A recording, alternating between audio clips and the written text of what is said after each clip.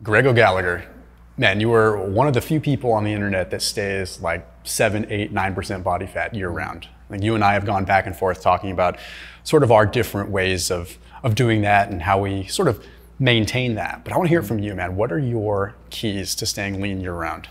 Yeah, so ultimately, I kind of developed the lens for staying lean, which is really, it comes down to calories in versus calories out. So, what I kind of realized, this is when kind of staying lean, staying under 10% body fat became something I could do year round. Before it used to be a struggle. Uh, the lens that I started to look at was what's the most enjoyable way to eat at a small calorie deficit. So before there was all these different rules you have to follow, eat every few hours, do X, Y, and Z, low carb. And I just asked myself, what's the most enjoyable way for me to stay in a calorie deficit?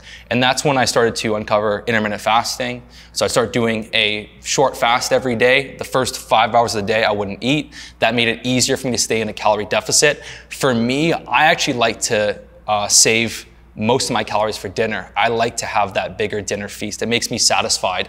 I don't feel like I need to use tons of willpower to get lean when I can look forward to a big, delicious feast of steak potatoes. So I try and create a diet setup that's very rewarding for me every day. Some people can eat small meals every few hours. For me, I feel like that, like that is brutal for me to do. So I like to do a short fast, eat a moderate sized lunch, a big dinner feast, and finally, I finish my calories off, the last 400, with chocolate.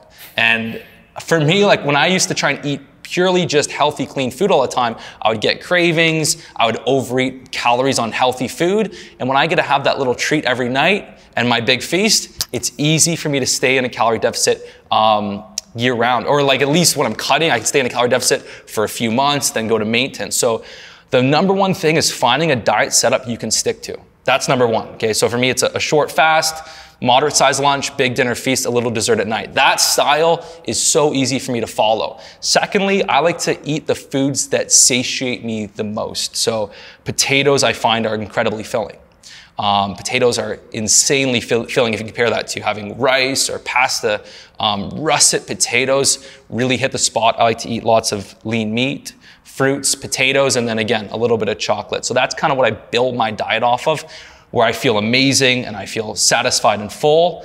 Um, those are really the main things. And I try to, when I cook at home, it's so much easier to stay lean when you can really cook. You can control how much oil and olive oil, butter you're using. You can make the foods really filling. If you go to a restaurant, they overdo it. They make it extra tasty by using extra butter and oil. So it's much easier to stay lean if you're cooking um, as well. I like to eat the same, and this is what I find. If you look at, regardless of whatever someone's approach is, if they want to eat more meals, if they do keto, if they do X, Y, and Z, one of the staples you notice with people that stay lean, they stay at 10% or less, is they tend to eat similar things day in, day out. They don't just have a different meal every single day for a month straight. They kind of, they find what works for them. They find what keeps them satisfied, what they feel full on, and they kind of stick to that. They have a little bit of variety, but they generally stick to eating the same thing, especially if, especially for the first meal of the day. Um, and so those are sort of my strategies. I don't like to do a huge deficit. I don't like to try and get lean too fast because then your leptin levels plummet, you get cravings, and it's hard to stick to. Then you mess up, you rebound. So I try and make the system so enjoyable. I can do it every single day. And then you get locked in, it becomes automatic. And so that's really a diet setup's probably 80% of it. And then to really make sure you, lo you lose fat at a good pace, I like to walk. I like to, 10,000 steps are good. Sometimes I'll push the envelope and do 12 to 14,000. And when you're walking, you're burning a moderate amount of calories. You're not increasing hunger. And so when you have the diet dialed in, you get lots of steps in, and then you just do the key lifts to maintain muscle. Getting lean is pretty, pretty automatic. So I want to back up to the, the restaurant thing for just a second because you yeah. hit on a good point because I know you're, you're on the road a lot. Yeah. So when you do eat out at a restaurant, how do you control that? Do you, uh, I mean, like personally, I I usually have to be a little bit of a pain in the butt. I ask them, hey, like, can you, do you mind like cooking the eggs dry or, or like try to like cook it in a little oil as possible? Half yeah. the time I find they do it, half the time they don't, half the time they put more oil on it because they just, they're like, a oh, pain. Like, what yeah. do you do when you're at a restaurant? Yeah, so I, if you're eating out at a restaurant three times a day, it's gonna be really hard. Um, I try and have that first lunch meal pretty well tracked. And so really I have to just make sure my dinner is dialed in. Um, if you go to a restaurant, especially if they have calories on the menu, but they usually don't, but you'll notice very quickly that all those appetizers, all the starter salads, are going to be super high in calories. It's not going to be worth it. If you want to get the Brussels sprouts, you're looking at 500 calories. If you want to get the salad, you're looking at 800. So a lot of times people go out to dinner and they want to feel healthy. I'm going to order the side of, uh, of of Brussels sprouts, or I'm gonna start with a salad to feel healthy, and you're just taking extra calories. If you wanna eat veggies, you wanna make a salad, do it at home. Don't go to a restaurant, have a salad, a side of veggies, and then order, you know, your entree. So if I go out for dinner, I will do like maybe a shrimp cocktail, which is usually very lean, or some oysters, um, if I want to, and then I'll have like a nice serving of steak you know, usually a strip loin, and then I'll have a side of uh, potatoes. It could be a baked potato, it could be French fries. If it, I do have French fries, which I love French fries, um, if I do, I'll make sure I like take the correct amount of calories. Sometimes they have a huge portion, so I'll just take, I'll eyeball exactly what I think is the fair amount, and then I'll put away the rest. If I'm eating and I'm like, this is too much food, they gave me way too much of a portion, when I feel like it's time to stop eating, I'll put a napkin over the food so I'm not because any food in front of me, I'm gonna keep picking on. It takes like, you know, I'll put a napkin over it. If you're not gonna have the bread, I'll tell them don't bring the bread because just having it there and not eating it depletes willpower. So if I go out for dinner, I pretty much just try and go straight to the jugular of what I'm going for, which is steak and some potatoes. I'll eat that and I won't touch crazy amounts of uh, vegetables, which are loaded in butter, salads. I'll just go straight for what I really want to eat. Um, and then if you're eating out a lot, it really helps to get those high amounts of steps in. So if you can just be very active, I mean, I did, I did about two weeks in Europe and I was eating out lunch, dinner every single day. And I actually got leaner on that trip. I lost like three pounds over two weeks. Um, and I just was getting in a ton of steps. And I would just really I just kind of eyeball it. And there's something where you can tell when you're eating a little bit too many calories. You can feel it in your body when you shift from a, being in a small deficit to being in a surplus. You can feel it when you go to bed at night. So you can kind of, just got to listen to your body a little bit and then just eat the stuff that's going to fill you up the most and not take in extra calories that don't do much for you. So there's an ROI, there's a return on investment with your calories. And so some foods are low ROI. Having 500 calories in cauliflower when you're still gonna wanna eat the steak and potatoes is a low ROI thing. So I like to go straight for the juggler when I eat out. And then I can't, you have to eyeball it because it's, you're not gonna get perfect calorie readings. Even if you go out to dinner, even if you go to Chipotle and you get a, a bowl that says it's 800 calories, it could be anywhere from 800 to 1200. They can do bigger scoops of rice, so you really don't know. It, yeah. I have just launched my signature truffles with Thrive Market. So these are low sugar. In fact, they're actually keto friendly. They're sweetened with allulose, utilizing ethically sourced cacao and also using hazelnut butter to give it a really well-rounded taste. So two different flavors. There is a hazelnut pecan crunch, which literally has a crunch to it. It's like velvety smooth, but then when you bite into it, you get the crunch in there as well. And a hazelnut mocha flavor for those that like that little coffee bite to it as well. So these things are completely low carb. There's only a tiny, tiny bit of sugar in them to begin with. The primary sweetener is allulose and everything else is ethically sourced. So I partnered up with Thrive because We've worked on products together, but it was finally time for us to actually create a product that has the Thomas DeLauer signature on it. So that link down below saves you 30% off your whole grocery order through Thrive Market, but you're more than welcome to apply that 30% off to these truffles as well, which are priced at $10.99, so they're not too bad to begin with, but then when you apply that 30%, it's even better. Plus, you get a free $60 gift whenever you sign up with Thrive Market as well. So that link is down below in the top line of the description underneath this video. Yeah, you, you hit on something that I think is really important. We can kind of double click on it was like you, you mentioned lean proteins, right? Yeah. Like I've been a huge proponent of lean proteins for a long time when I'm looking at meats, which came as a surprise to a lot of people because I came out of the low carb world and they're like, aren't you supposed to just support like fattier cuts of meat? And don't get me wrong, like I love yeah. a good ribeye and stuff like that. But like just that, right? Like if you go to a, a place and you have a, a, scoop of white meat chicken versus dark meat chicken, people simply don't realize that you're talking double the calories in that sucker. And like, if it's going to be swimming in sodium anyway, you're hardly going to notice the difference. You might as well go for the leaner cuts, right? Mm-hmm.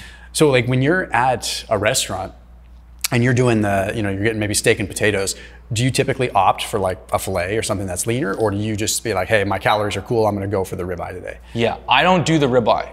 It's I don't really notice the bigger ROI getting a ribeye.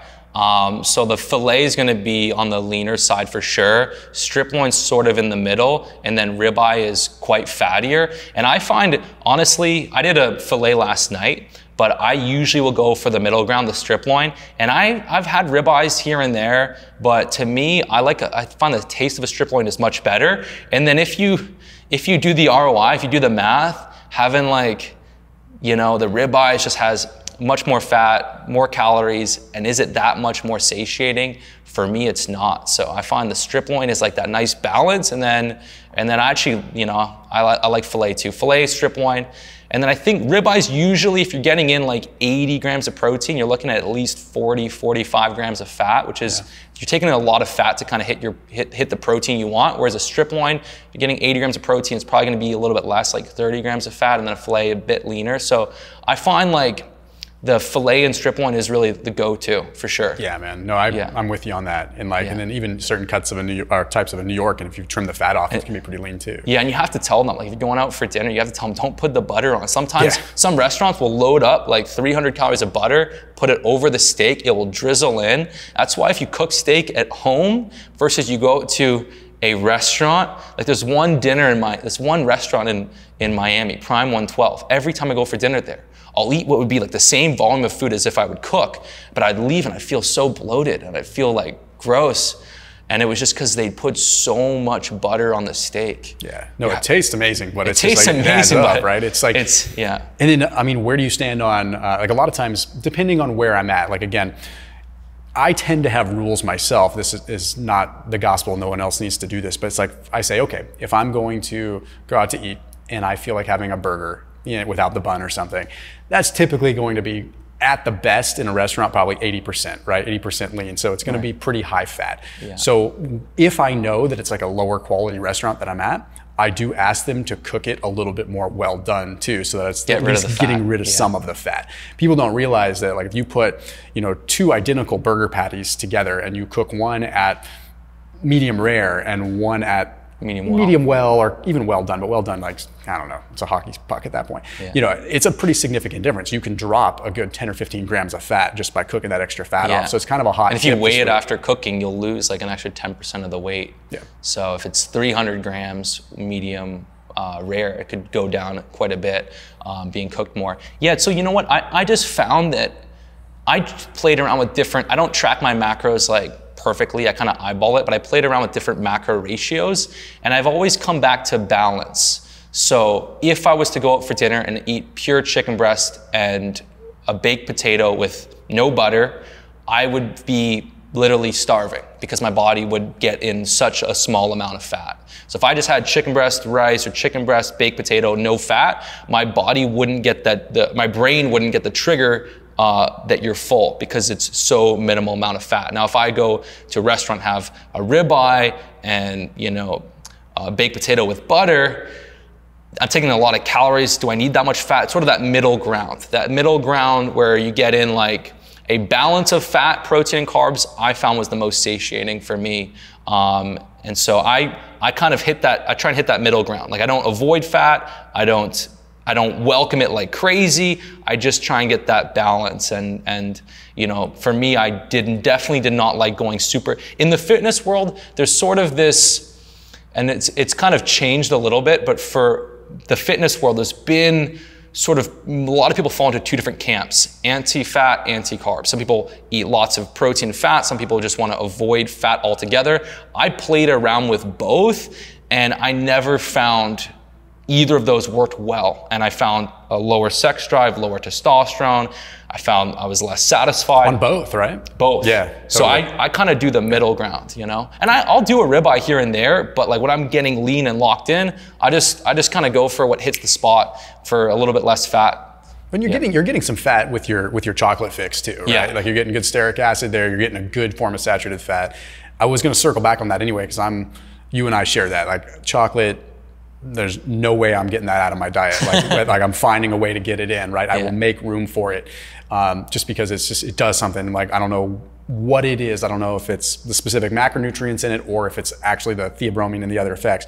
But do you typically do what do you do like 85% 90% dark like what's your what's your go-to with chocolate i do so you know i used to do dark and i'm pretty sensitive to like caffeine i'll yeah. have 300 milligrams a day and that's it so if i was having dark chocolate at night a little bit of caffeine would sometimes interfere with my sleep so i just have like good milk chocolate i like to, i just kind of do what hits the spot and i've always just been like and this is the thing right is that staying lean is hard let's face it, very few people can stay lean year round. Um, everyone wants to lose that extra five pounds, 10 pounds, could be 50 pounds. The reason the fitness industry is as big as it is is because people want to lose fat. They want to get leaner. That's the primary driver in fitness is, is fat loss. And the hard, where people struggle with is people struggle staying in a calorie deficit. And so I just made my kind of lens is how do we stay in a calorie deficit to strip off the fat we need? How do we make it enjoyable? And that's probably the biggest issue people have is sticking to a calorie deficit, is behavioral change. And so I actually just, I just kind of made the lens, how do I hit 22, 2300 calories a day consistently? And that little bit of milk chocolate at night hits the spot. I've played around with different, I rotate my desserts. Sometimes I'd have like a Magnum chocolate ice cream bar. I just, I give myself the last four, 500 calories, whatever I want. And uh, but yeah, no, I don't do. I know dark chocolate has high amounts of magnesium. I know you have to be careful which dark chocolate you you have because some are higher in heavy metals and stuff. But I just do milk chocolate. Yeah.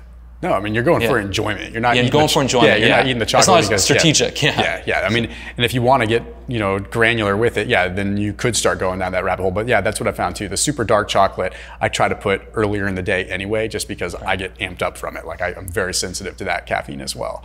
Now, yeah, that's smart. I, I, you know, there's one point I would do like i would kind of have the chocolate earlier and I and, and all that, and then you, yeah, then it works better to do the dark. You do 70% or? So, no, I mean, I'll, dude, I'll, I'll, even be crazy sometimes and just do like straight up 100% dark without any sweet, but that's like utility. That's like pure right. utility. You know, usually I'm fine like in the 80 to 85%, right? Like that's yeah. usually seems to be a good spot. I'll try, um, I'll try a little dark chocolate kind of midday. You have Yeah, or that like that, and this isn't a plug for them, but that Hue yeah. chocolate, or is it Hu, or however you say it, HU, yeah. Uh, that chocolate, they've got some really good ones. It's like, yeah, it's like 85%, but it, the way that they blended or whatever, it tastes like milk. So it's really creamy and it's sweetened with coconut sugar. So it's a little bit like less refined. So you feel a little Sick. bit. Um, but okay, you're obviously a big intermittent fasting guy, as am I. Mm. Do you train in a fasted state at all? Like, do you do any cardio fasted, or do you just try to say, hey, I'm going to get the majority of my steps in my fasted yeah. state? Do you not really pay attention to it too much anymore? Because you and I used to, like, we both had fasting programs back in yeah. the day. People thought that we were like, um, we had very similar views, and we yeah. differed on a few things, but you know, I've always been big on fasted workouts. It's just like a tool for me. But I wouldn't say it's the reason I stay lean. It just I just feel better that way. Right. Yeah. So you know, we did a pretty pretty intense workout today. I did it fully fasted. I either train one of two ways.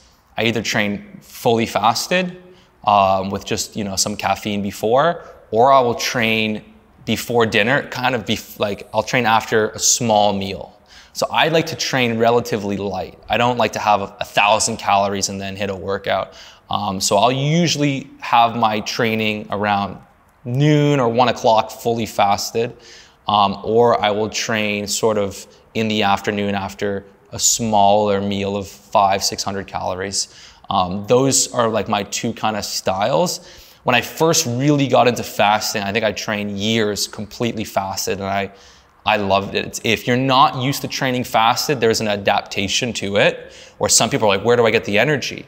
And then you, once you kind of get used to it, you kind of have this adrenaline and you have like really good workouts. Um, but if you're doing like, if you're training, some people are training for Ironmans, and they're doing two, three hour workouts. If you're doing two hour workouts, you're gonna hit a wall. Like if I did like, when I, sometimes I do like these longer kind of martial art, mixed martial art workouts and there's a certain point where training fasted is counter counterproductive. After 90 minutes of training, you kind of can hit a wall. But I do I do a mix. What about uh, when it comes down to your your training philosophy now to like to stay lean, right? Because I think a lot of people look at this and say, oh, like these CrossFit guys. I mean, they're training four hours a day and they they look amazing. They're lean and they're jacked. So I guess I got to do that. Uh, you know, you and I talked a little bit about this, but I think you know, get down to the golden rules of like, okay, well, what's how much do I need to train? Like, what does my cardio need to look like? What does my training need to look like to like maintain a physique like this year round? Yeah, yeah. CrossFit is interesting. If you look at the founder of CrossFit, he's not really an icon of fitness. Greg.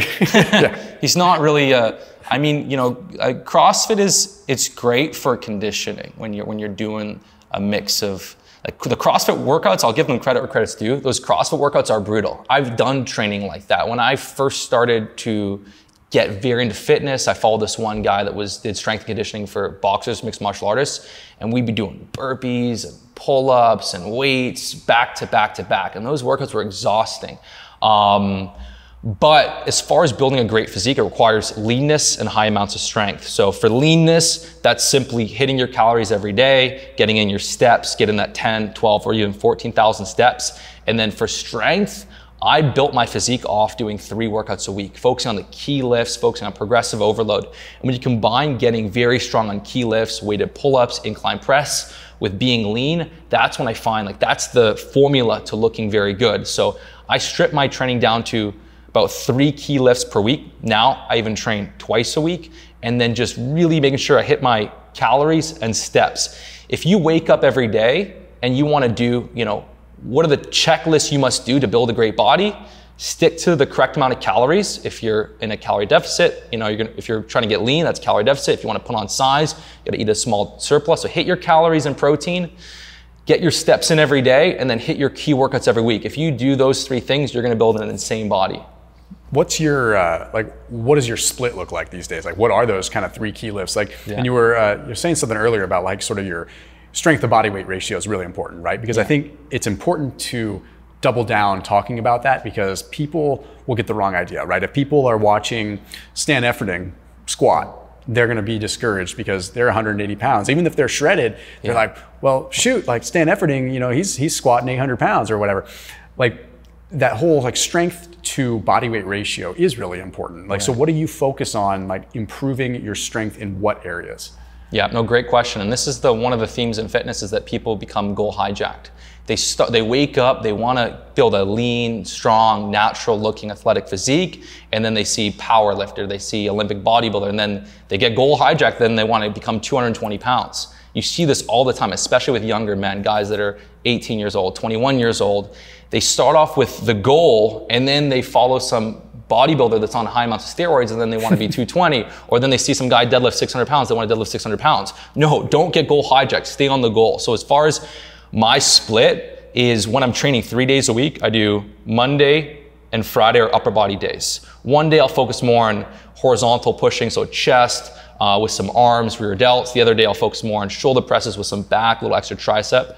Um, and then Wednesday is for legs. And I actually like to train my traps after legs. I really like to kind of finish off leg days with some with some shrugs. So those are my three kind of workouts. And then, you know, on the Monday, for example, my key lift will really be the incline bench. I'll really try and hit some PRs incline bench. I'll also hit some some heavy curls. Um, and I'll do other exercises, but those are kind of like the, the main lifts I'm kind of trying to progress on.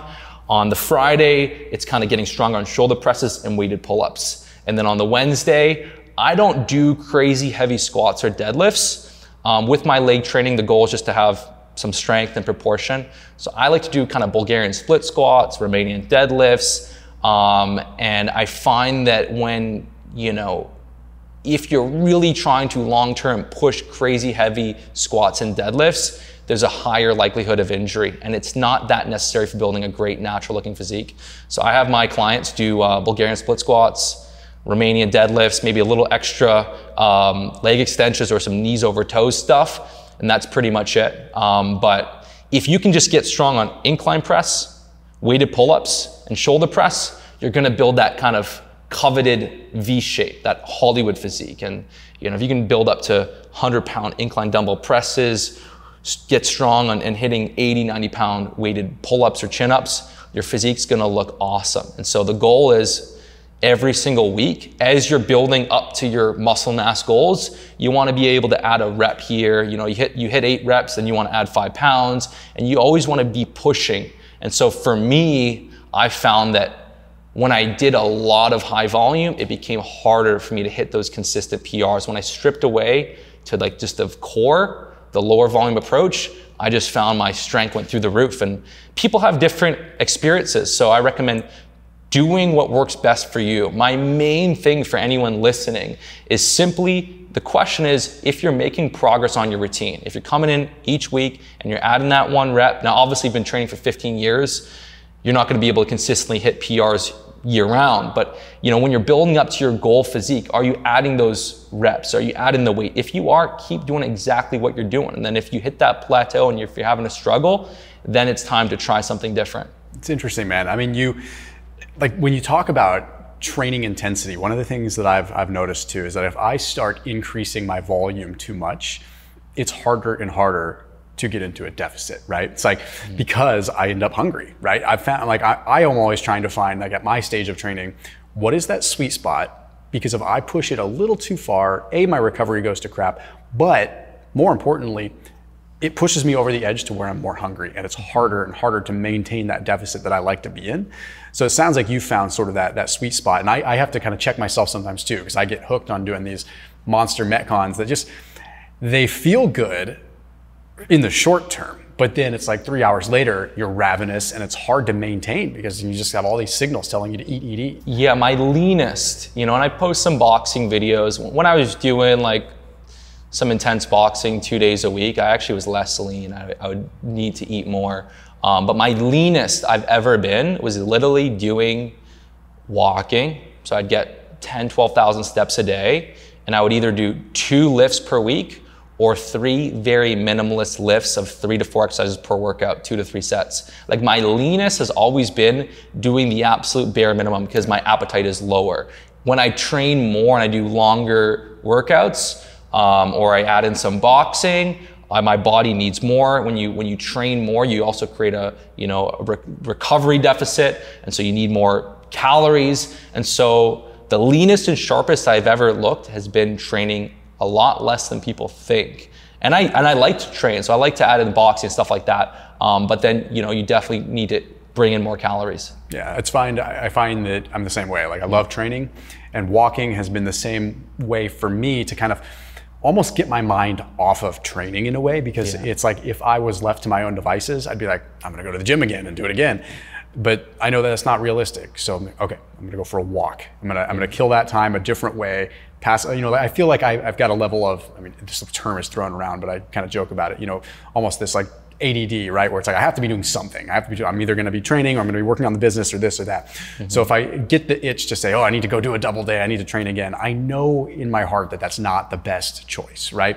It's almost a bad addiction that puts me back there. So I say, you know what? Check it, go for a walk, you know, 30 minute walk, 60 minute walk, knock out some phone calls, knock out that stuff. I'm like, you know what? good. I didn't need to train again. And I actually end up looking better as a result, just simply going for that walk. And this is kind of like the Western mentality, you know, the American mentality. You want to push yourself all the time. You, you, you know, pay, no pain, no gain. And you have to kind of pull it back a little bit. And so I've always, you know, the one thing that is ex- extremely important, whether you're trying to improve in fitness, in business, in relationships, or any sort of pillar of life, is you want to track your progress and track what you're doing. And you'll see what works, you'll see what doesn't. So I've tracked every single workout. It used to be in a spiral bound book, now it's in my phone. But I've tracked every single workout and I've seen what works and what doesn't. And I've hit plateaus and I've played around with different things and I've really come to the thesis that recovery is key and less is more. And again, if you're gonna push yourself really hard and fight for that last rep, um, there's gonna be a cost and you're gonna need to give your body that, that rest to come back stronger. No, definitely agree, man. And um, before we uh, wrap this one up, I want to yeah. pivot over to supplementation for just a minute. Is there anything yeah. that you focus on as far as like core supplementation? Not necessarily for staying lean, because I know that might be a bit contrived to say. Like I know like there's no supplement that's going to make you stay under 10% body fat per se. But are there any core pillars that you have? Yeah, so once you have your nutrition dialed, you're getting the correct amount of calories and protein, your training's dialed, you're getting in your steps, there's a few key supplements that can, you know, be beneficial. Um, for me, what I take is when I've, you know, there's one supplement that is a bit controversial, but this is one that's been helpful for me is when I want to cut below 10% body fat, I found taking essential amino acids help mm-hmm. with preventing protein breakdown, and they have a hunger blunting effect. So if if you know it's if I wake up at nine in the morning, you know sometimes you're getting really lean around 12, 1 o'clock before I train. I'll take EAAs, and I find that kind of that helped my physique, helped my body composition. Um, so that's one. Um, now the big issue that we're seeing uh, more than ever is men's testosterone levels are lower than they used to be. They're 30, 40% lower than men in the 80s. And so um, one of the supplements that I use is a, it's a mix of magnesium, zinc, boron, three minerals that support testosterone and, uh, and two key herbs, tongkat ali and forskolai. And I use that. And one of the cool benefits is when you're in a prolonged deficit, you can see a drop in sex drive. You can kind of, your libido can go down. And so those support your testosterone levels and increase your libido. Um, but, um, and as far as a protein supplement, I've always liked collagen protein because collagen protein is very, very filling. So I would, during, when I'm cutting, I will take like a scoop of collagen, mix it in um, hot water, and I'll sip on that, or I'll mix uh, collagen in like Greek yogurt. It's this delicious pudding that's high in protein. So I kind of for protein, that's what I kind of go for. I find collagen is more filling for me than whey. Um, and but again, there's a lot of like um, there's a lot of um, there's a lot of people that want to like, oh, I got to have a protein shake right after training. I got to have this 200 calorie protein shake before, and a lot of that actually just kind of ends up not supporting fat loss because you're taking in the, these calories that aren't very filling. But for me, the collagen, you sip on a hot collagen mixed in hot water, it's like 80 calories and it is more filling. Um, so there's not too much for fat loss, but I did I do find those those few are effective. Yeah, the collagen thing that's a cool trick, man, because yeah. like a lot of times when people have a whey protein shake, it satiates you in the short term, but mm-hmm. it's so insulinogenic. It does cause a pretty big insulin spike just because it absorbs so fast. Yeah. So then, like a lot of times, people find an hour later they're pretty ravenous. Whereas the collagen is much less insulinogenic, so people do tend to find that. That's why uh, like people even sipping on bone broth, for example, like super high gelatin and collagen. It's like it just satiates you, and you feel like you got something. So I have a very similar thing. I sip on bone broth. Like if I get hungry and I know that I need to be in a deficit, I'll do the same thing. I'll sip and sip on bone broth for that exact reason. It's something about I think it's the gelatin in it. It, it yeah, probably thickens, it's viscous, and, and it, it's um, you know there's not a lot of literature to back it up, but it's like sometimes this anecdotal stuff is what it takes. It's like if I drink, and I love whey protein. Don't get me wrong, but if I drink a whey protein shake versus a collagen shake, I will absolutely, like undoubtedly, be more satiated after the collagen for sure. Um, and my only guess is it has to do with the you know the insulinogenic nature think, of it. Yeah, no, I think you're right about that for sure. And this is something that everyone, I, again, my kind of big lesson is test everything for yourself. Don't just take my word as the voice of God, put it to the test. Have a weight shake, have a collagen. You know, at the end of the day, you got to test it for yourself. But I do find the collagen is far more filling. Um, but you know, so yeah, some stuff to support your testosterone um, and sex drive during cut is helpful. The collagen is helpful. And I've gotten lean without using any essential amino acids. I've gotten lean with, and I did see a small benefit for those that, if you're cutting to, if your goal is to get to 15% body fat, doesn't matter. If you're cutting below 10%, see the issue with cutting to a low body fat is that there's always gonna be increased risk of muscle loss. It's very hard to hold a lot of muscle at a low body fat. That's also why you're not going to see naturals walking around at 210 pounds, 5'10, shredded. There's a there's anabolic support that. So trying to hold on to all your strength and muscle while getting lean is sort of is sort of the goal, and that's a hard thing to do. No, agreed, yeah. man. Well, uh, Greg, where can everyone find you, man, and like where can they get your your program and all that as well? Yeah, so you can search two two places. My website is kinobody.com, K-I-N-O body. Kino kind of translates in German to movie body, so the movie star body. And then my Instagram is Greg O'Gallagher. Right on, man. Well, as always, thanks for watching. yeah, thanks. Awesome. Thanks, man, for having me.